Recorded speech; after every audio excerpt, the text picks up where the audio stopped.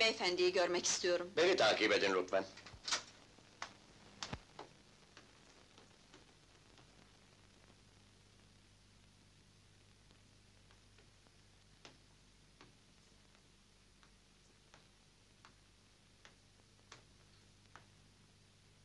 Köşkü siz satın almışsınız.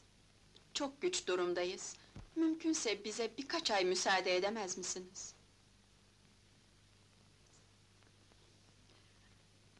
Kendim için değil, hasta kocam için istiyorum bunu.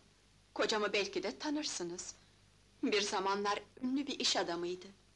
Hayrullah Kodaman. Evet, tanıyorum.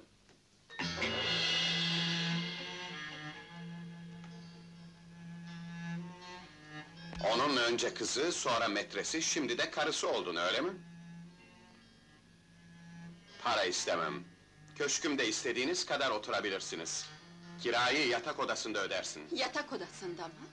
Ayda bir geceni bana ayır yeter. Yazık, çok yazık. Hiçbir zaman anlayamadın beni. Bir zamanlar seni sevdiğim için şimdi kendimden utanıyorum. Utanma.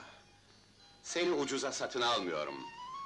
Ücretini en yüksek tarifeden ödüyorum. Paran da, köşkün de senin olsun. Lanet olsun sana!